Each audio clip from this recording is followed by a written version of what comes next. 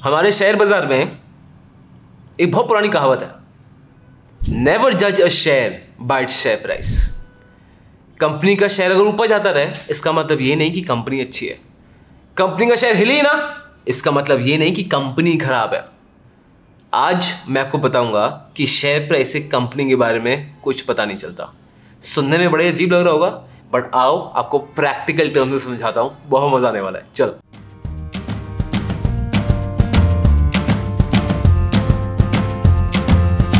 Hi guys, my name is Harsh Goyla. I'm an investor trainer and maintain stock markets and on the Flisdom platform. तो I hope आपने subscribe कर दिया because यहाँ पे content आपको मिलने वाला है। शेयर प्राइस हमें कंपनी के बारे में कुछ भी नहीं बताती। चलो मैं आपको फैक्ट्स और डेटा देता हूँ तब आपको और बेटर समझ आएगा। अब मैं एग्ज़ाम्पल लेता हूँ of Gautam Adani versus Jeff Bezos मैं एग्ज़ाम्पल लेता हूँ अडानी वर्सेस अमेजोन अब जैसे आपको पूरे ग्राफ में दिख रहा है अमेजोन का रेवेन्यू इज़ 486 बिलियन डॉलर्स और अडानी ग्रुप का रेवेन्यू इज़ 29.2 बिलियन डॉलर्स कहीं से भी कंपेरेबल है? नहीं. रेवेन्यू छोड़िए प्रॉफिट की बात करते हैं.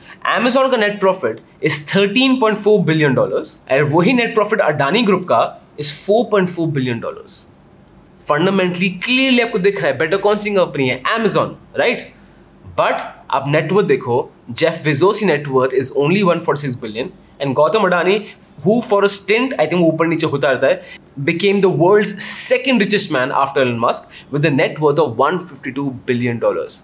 ये नेटवर्थ कैसे बनती है? जो उनकी शेयर होल्डिंग कंपनीज़ उनकी प्राइस बढ़ती है तो उनकी नेटवर्थ बढ़ती है।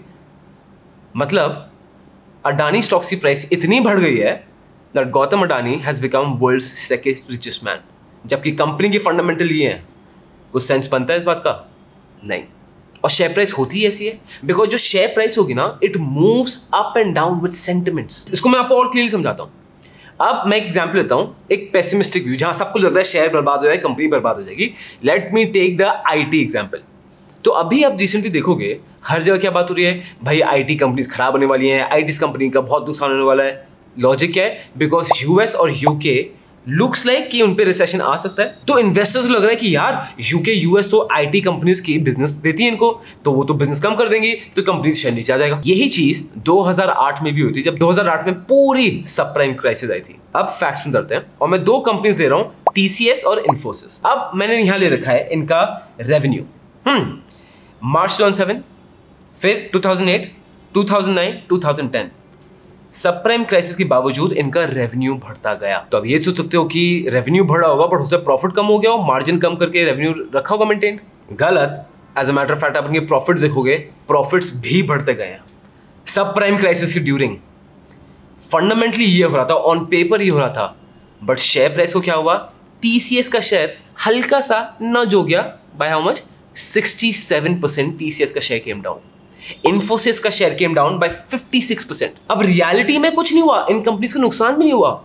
बट बिकॉज़ मार्केट में परसेप्शन तक खराब था इन्वेस्टर्स ने बोला, भाई, बेचो. सप्लाई बहुत ज़्यादा हो गई डिमांड कम हो गई. सिंपल इकोनॉमिक्स का रूल है, इस सिचुएशन में आपकी प्राइस नीचे आएगी आएगी, जो हमें यहाँ दिख रही है. तो प्राइस नीचे आने का मतलब क्या है? कंपनीज़ खराब थी या कंपनीज़ खत्म हो गई थी या इनका नुकसान हो रहा था? नहीं. अब आपको इसका उल्टा केस दिखाता हूँ जहाँ पे लोग इतना ज़्यादा ऑप्टिमिस्टिक हो जाते हैं और डिमांड इतनी बढ़ जाती है सप्लाई इतनी कम रहती है कि शेयर प्राइस बहुत ज़्यादा बढ़ जाती है। मैं आपको बताता हूँ जो इंडियन गवर्नमेंट का एग्ज़ाम्पल लेते हैं। इंडियन गवर्नमेंट का 2020 में एम था to increase India's energy security basically चाह क्या रहते हैं? इंडिया का डिपेंडेंसी क्रूड ऑयल में बहुत ज़्यादा है। तो इंडियन गवर्नमेंट साइड कि हम पेट्रोल के साथ ना एथेनॉल को मिक्स करेंगे। सो so, क्रूड ऑयल में डिपेंडेंसी कम होगी। हमारा फॉरन एक्सचेंज रिज़र्व भी बेटर होगा बिकॉज़ शायद ना क्रूड ऑयल इंपोर्ट करने की ज़रूरत पड़े। तो बेसिकली बस कोशिश करें कि क्रूड ऑयल इंपोर्ट कम हो जाए विच इज़ एक्चुअली गुड और इंडियन गवर्नमेंट ये काफ़ी सक्सेसफुल भी रही इसको करने के लिए। ये सुन के इन्वेस्टर्स बड़े एक्साइटेड हो गए। एथेनॉल शुगर से निकलता है। तो इन्वेस्टर्स को लगा कि भाई साहब शुगर कंपनी से तो चांदी होने वाली है पूरी। तो बलरामपुर चीनी का आपको एग्ज़ाम्पल दिखा रहा हूँ। बलरामपुर चीनी का स्टॉक 620 परसेंट ऊपर गया। बहुत बढ़िया। बट अब फाइनेंशियल देखते हैं एक्चुअलिटी में देखते हैं। जैसे आप इनकी प्रॉफिट लॉस दे सकते हो इनके सेल्स में जाते हैं।